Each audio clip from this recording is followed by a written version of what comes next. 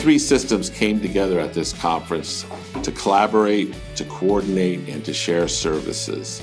The idea is that we can better manage our costs for our students. Uh, we're here for the collaborative business conference between all three systems, between the community college system, CSU, and the UC. And the ultimate purpose is to find ways that we can really save money uh, that ultimately benefit the students. You know, the numbers might be a little bit different, the magnitude might be a little bit different, but we're very common in each one of our issues. So why should we reinvent the wheel three times?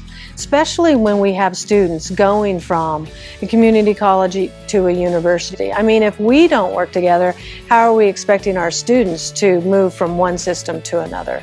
So I think it all comes together, and this is perfect. I hope we keep it up. I really do. Uh, my reason for coming to the conference was to basically get a better understanding of what opportunities are out there as far as collaboration.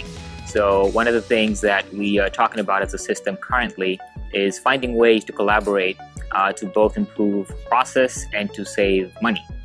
Because we are strapped on dollars, we're strapped on consulting, but yet I think we have a lot of knowledge that's in this room right here, right now. So how can we how can we corner that? How can we utilize that to the maximum for all three systems? Well, we invited speakers that really are there to expand our thinking and bring an academic approach to solving problems for academic institutions.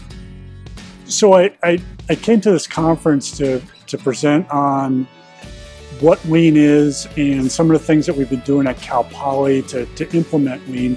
And I guess one of my other sort of you know, motivating factors in, in talking about this was to try to get people in higher education to apply lean principles.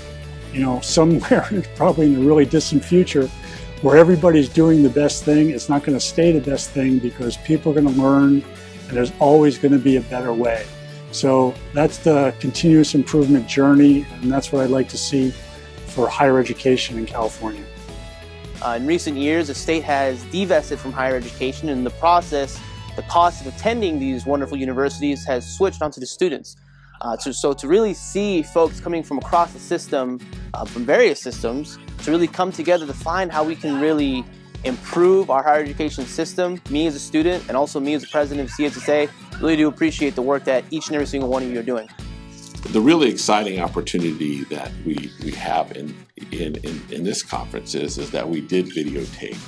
And those videos are going to be on a, on a, on a collaborative uh, website called uknowledgeshare.com the things that were said and the messages that came from our high quality speakers, the content that they offered, is going to be offered across the state so people can all participate and collaborate.